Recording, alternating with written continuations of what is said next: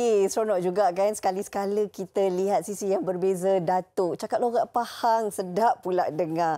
Okey, ini kita nak bawakan daripada sudut ataupun perspektif agama. Bagaimana sebenarnya bulan yang dianggap sebagai bulan yang penuh rahmat, bulan uh, penuh keinsafan ini, kita nak muhasabah diri kita menjadi yang lebih baik daripada sebelumnya. Dan sudah pun bersama kita, uh, jeling-jeling kat sebelah ni. Assalamualaikum Ustazah. Waalaikumsalam warahmatullahi wabarakatuh. Jeling bukan sebarang jeling. Ya, jeling-jeling kerinduan katanya.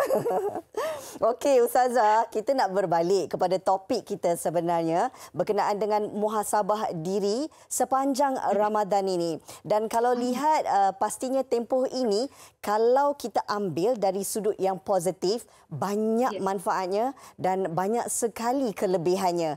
Untuk setiap individu ataupun setiap umat itu, bagaimana sebenarnya kita nak bawa diri kita sepanjang Ramadan ini dalam satu uh, perubahan yang sangat-sangat baik Ustazah?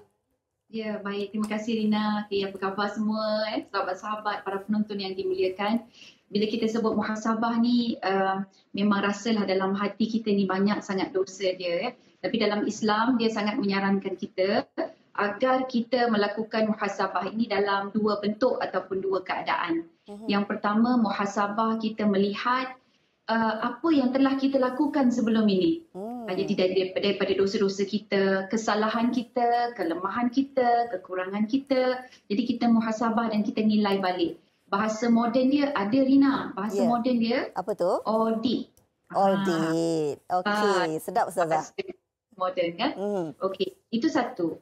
Aspek yang kedua yang mungkin jarang kita lihat adalah bagaimana uh, muhasabah ini boleh membantu kita merancang ke arah amalan-amalan ataupun perbuatan kita yang lebih baik akan datang. Mm-hmm. Jadi uh, selepas kesan daripada melihat kekurangan kita, kelemahan kita, mm-hmm. apakah uh, talent dan potensi kita, maka kita harus uh, mewajibkan diri kita untuk merancang masa depan kita pula. Mm-hmm. Walaupun hakikatnya kita tidak tahu masa depan itu untuk siapa kan. Kita tak tahu esok untuk siapa. Mm-hmm. Kita ada hanya hari ini ya tapi perancangan itu nantinya akan menjadi saksi di hari akhirat betapa kita sedang berjuang untuk mempertingkatkan nilai-nilai yang baik dalam diri kita Rina.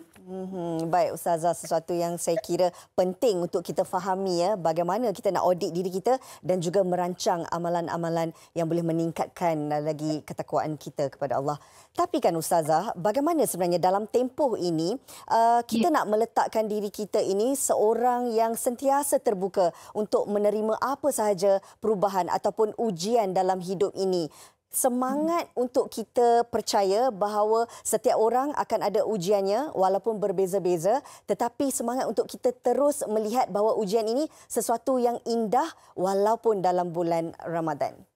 Oh, jadi yang ni kita kena ada tiga perkara. Uh-huh. Yang pertama kita kena bentuk persekitaran. Jadi cuaca dalam rumah kita itu uh, dan keadaan dalam rumah kita itu perlu uh, membawa kita ke arah sentiasa muhasabah. Uh-huh. Jadi baca buku contohnya kan itu persekitaran okay. kemudian uh, mungkin keadaan yang, yang kita disiplinkan diri kita jadual harian kita mm-hmm. jadi itu merupakan salah satu cara bagaimana kita membentuk persekitaran kita mm-hmm. yang kedua adalah dengan siapa kita bergaul atau dengan siapa kita selalu dekatkan diri kita kalau kita dekatkan dengan WHI wanita hari ini jadi kita dapat banyak input-input yang berbentuk kasabah ini kan yeah. jadi dia uh, mencetuskan diri kita supaya kita bermuhasabah. Hmm. Okey, jadi kita pastikan siapa yang berada di keliling kita, ahli keluarga kita kan. Jadi kita galakkan mereka untuk sama-sama mencetuskan perasaan muhasabah ini. Hmm. Dan kemudian yang ketiga kita patut ada guru, Rina. Yeah. Jadi kita kena guru, ada cikgu hmm. eh. Jadi yang biasa membimbing kita, mengingatkan kita tentang kepentingan muhasabah. Jadi contohlah kita sekarang nak cikgu macam mana tak ada online ada. Betul. Uh, kan kita ada live streaming, uh-huh. kita ada banyak live uh, media sosial dan sebagainya. Uh-huh. Banyak mengingatkan kita tentang uh, muhasabah ini masya-Allah. Insya-Allah.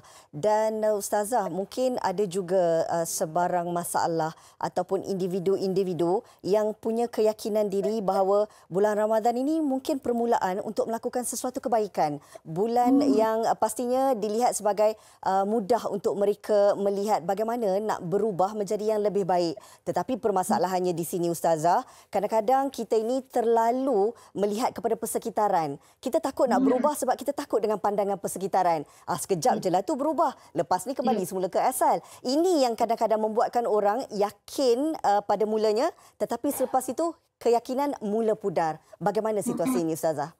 Ya betul. Uh, sebab itulah sebahagian ada mengingatkan kita supaya kita jangan jadi hamba pada bulan Ramadan.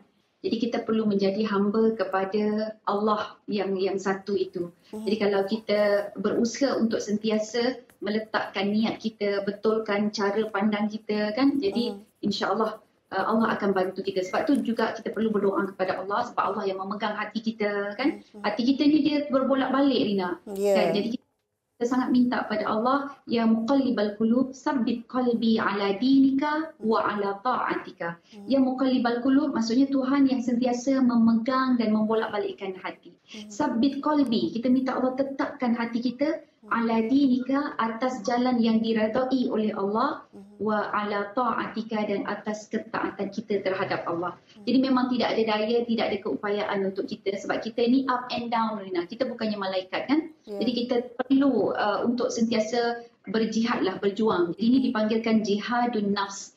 Dan Ramadan datang ini dia sebenarnya melatih kita supaya kita uh, bingkas kita bangun uh-huh. dan bila kita bangun kita take charge. Kita ambil uh, tugas kita supaya kita yang menguasai nafsu kita lenturkan dia uh-huh. uh, dengan uh, Ramadan dengan ibadah ini dan persekitaran dan sebagainya. Uh-huh. Selebihnya lepas kita dapat bulan Ramadan ni dia macam recharge kita bagi kekuatan tau. So selebihnya yang itu Allah letakkan kebijaksanaan kita, budi bicara kita untuk meneruskan istiqamah kita di bulan-bulan yang akan datang. Baiklah, saya kira saya kira perkongsian yang memang cukup menarik. Mungkin di hujung perbincangan ini Ustazah boleh membuat satu rumusan untuk kita lihat bagaimana pentingnya untuk kita muhasabah diri sendiri dalam usaha untuk mencari kelebihan dan juga kebaikan pada diri kita. Silakan. Ya.